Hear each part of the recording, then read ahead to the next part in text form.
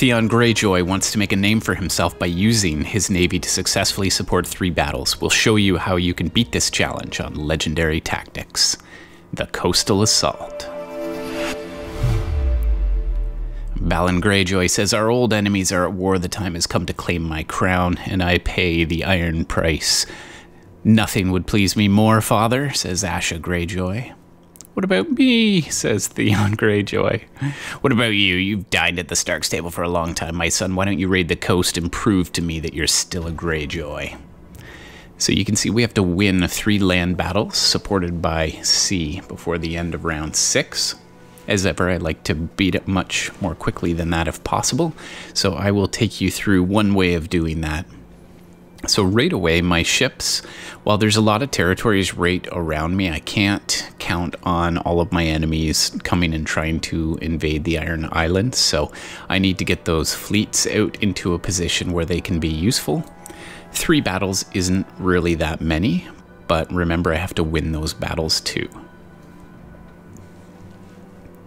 So I'm thinking if I can do this in the right sequence, then I can also uh, double up on my movement of my first ship. So I'll, uh, I'll definitely get that one going. Give him, it's funny, it's called a march order when it's uh, the Navy. It's a bit of a wasted turn, unfortunately, for these guys, but if I'm going to give myself a strong position, I probably want to be closer to the top of the track, so giving myself some influence is likely a wise idea. I've got one extra troop here.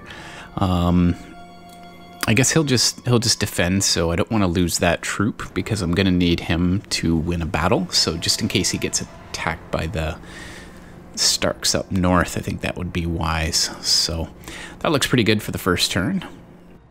Alright, so what I'll do here is accelerate all of the bots play by 500% so that you don't have to suffer through that. I'll slow it down when it comes to my turn. And uh, so I'm going to move that fleet first. If I group him with the other three, then I can move him a second time if I choose. So it's a good, efficient way to get fleets where you want them to go. I think I will actually leave one fleet there, though, because there's a lot of territories that I could potentially support with that fleet. I'll spread them out into three different sea spaces.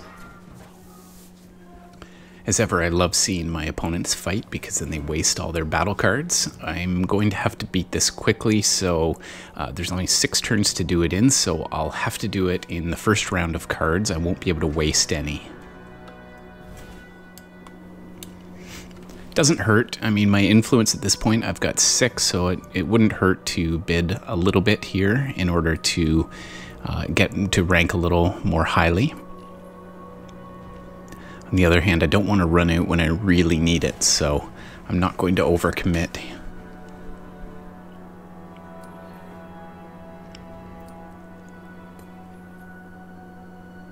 Alright, so that's solid. I've got a third place, third place, and a second place, so Really, it's not about that track, though. It's about the battles. The Valyrian Steel would be good if I was going to spend a bit more. That would be the track to do it in.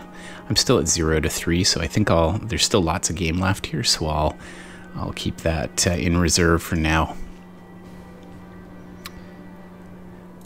Not really expecting a fight here, so I can move that fleet north. Just in case mustering comes up, I think I'll move the Greywater Watch unit over to Moat Cailin so I can set down another unit there. I need to strengthen my forces. I'll march with those guys with the plus one order just in case I get the opportunity to make an attack that I think I can win. And with uh, my special support order, that'll give me a little extra juice here to get my first win against uh, Riverrun.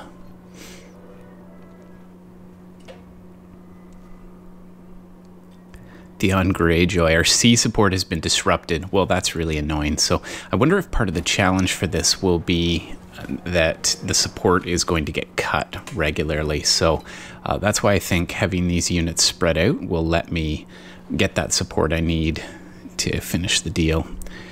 So I do, there is a unit I need to face there. So I'll need to push him out of there if, I, if I'm going to take control of that. And I think that sea zone will be essential to my victory. So, do I leave him? I think I need to leave him because I can cover a lot of different spaces with my, my ship spread out. So I need to win this one. He's got the advantage. But I don't want to go too heavily. Oh, that's kind of nice, though. I get a plus one for all my participating navies, so that's a bonus. Four to two is little bit of overkill, but I've got the Bay of Ice under control. So now I'm really set up to take these battles. Okay, so let's see if I can win my first battle in Riverrun here. They're not overwhelmingly powerful, and I've got... Uh, could I do that with one unit? That is a definite possibility. What do you think? Maybe I'll wait till next turn. Let's hold off for now. I'll I don't want to throw my armies in and lose them too quickly. So I'll strengthen myself first. See, that battle doesn't do much for me. Moat Cailin there. Because I'm not supported. But it would let me lay a troop down if I uh, if I get that. That is assuming I do get the, the mustering during the next phase, the Westeros phase. Okay, so I'm going to do some damage there on Catelyn, get rid of a low card, so that's good. There's mustering, that's what we needed. Don't really care how many people they muster down in the south. Knights might be the way to go here. I'm not really attacking too many fortresses, strongholds, so... Time to toughen up.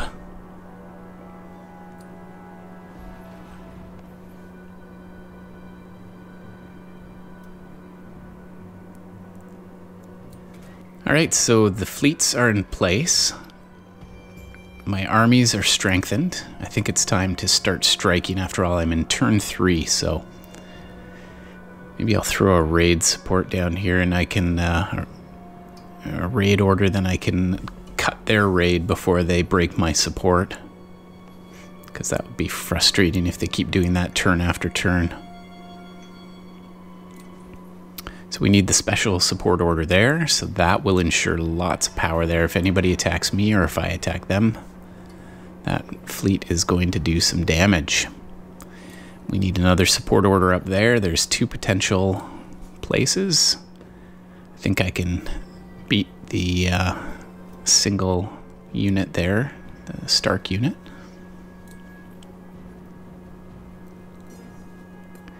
Just need to rearrange this and get this set up properly so I have the strength where I need it to be. So marching from Pike, that guy won't need. I'm, I'm going to get him to join the other forces in Seaguard. And Seaguard is where the actual strength needs to be because that's the one that's going to be attacking Riverrun.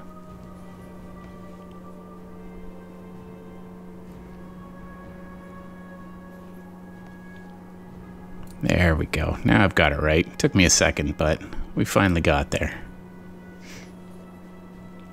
That's the one. We got the neutral march order. I think I can take that stony area there. Get that support back on. Man, I'm just making a mess of this. Don't worry, I'll get it right. Moat Cailin really just needs to survive, so could add that support uh, just in case we need some help anywhere. I do kind of like how it whizzes past the computer's turn. That is a little bit uh, slow at times.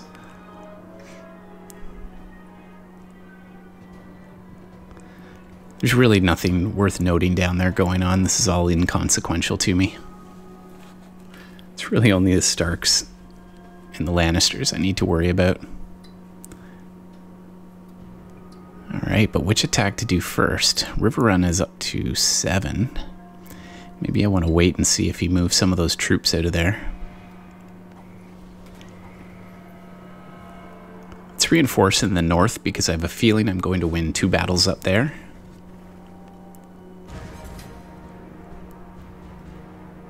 Okay. I'm not really concerned about the outcome of this battle. I mean, I would lose a troop, but I think I just want to soften them up a bit and maybe get rid of some of my lower cards.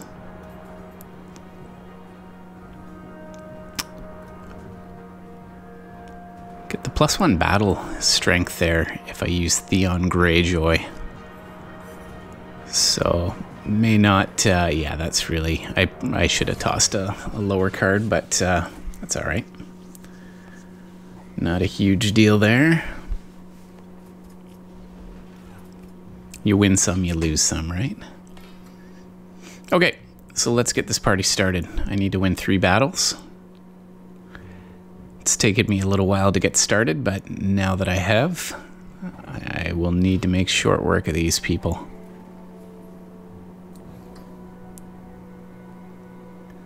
Yes, I do want to control Seaguard. Very good. Alright, so 5 to 2. Advantage. I've got my support, which is the special support order. That puts us at 7 to 7, so it really comes down to who plays the better card. Now that's interesting. I could he's got a maximum of 9.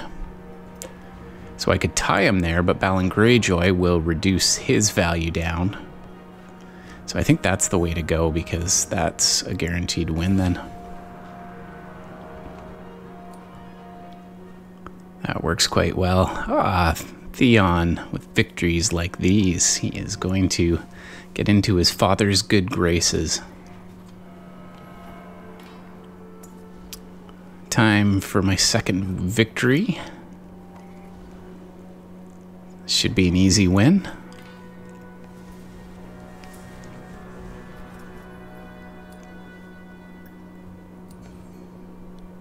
I didn't find this challenge was particularly difficult. Um, this was my first attempt at it. I'm sure I could find some efficiencies next time around. We could probably beat this in the third turn here. It's doubtful that we could do it in the second turn. If anyone out there is able to do it in the second turn, please let me know in the comments. That would be very impressive. Yeah, so that's pretty simple. Crushed his soul. So I'm thinking Winterfell might be my final line of attack. So I think it would be very winnable in the, the fourth turn there. I've been playing it safe. It is kind of fun to, to beat these challenges on your first try. And this actually works to my benefit now, so everybody else gets to get rid of one card. I'm not the lowest bidder, so it was a good thing I kept a little bit of influence because now I can get rid of that zero. That leaves me with my four banger, which should win me the last battle.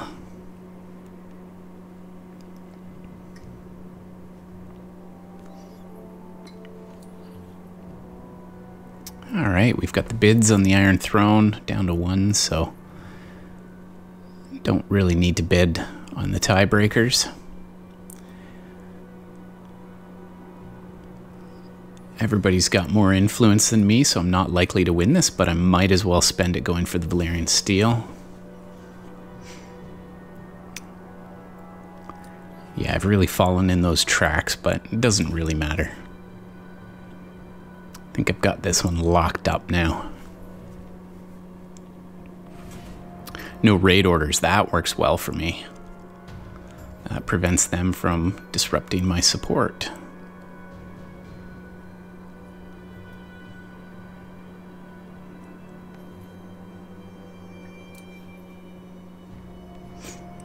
Yeah, I'll just launch as many support orders in as I can. That Winterfell is looking juicy. Should be able to take that handily. Those guys definitely need to be marching. I'll put a backup plan in place just in case they get wily. I think I can actually win on a defense order as well. So um, actually, I'll hope that they attack me there. And I can win that way too. I've got a, a couple different options. So Really not much left to do there. That looks pretty solid.